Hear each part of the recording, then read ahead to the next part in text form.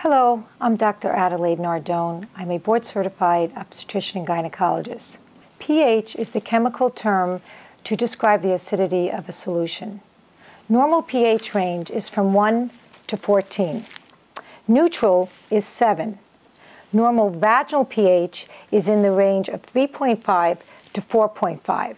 Why is this important? The importance of vaginal pH being in this slightly acidic range lies in the fact that it keeps bad bacteria away and good bacteria prominent. Vaginal pH is controlled mostly by the estrogen hormone that has receptors in the vagina.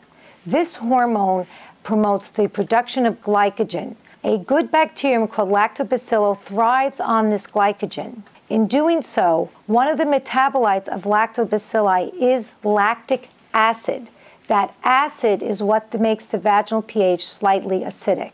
In this narrow range, but a healthy range, the vagina is able to keep good bacteria thriving and bad bacteria at bay. But the other thing it does is that it does not harm the vagina itself nor a person's partner. Things that can alter vaginal pH include having sex, being pregnant, even menopause, douching, having too much moisture exposure, irritants, etc. There are some tips that women can take to keep a healthy vaginal pH and therefore a healthy vagina. Daily feminine hygiene with a gentle soap or pH balanced feminine wash using tepid water. Do not douche. Use cotton undergarments and fabrics that wick away moisture.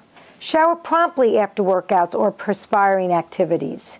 Don't self diagnose for a vaginal infection if you have unusual vulvovaginal symptoms, but consult with your gynecologist.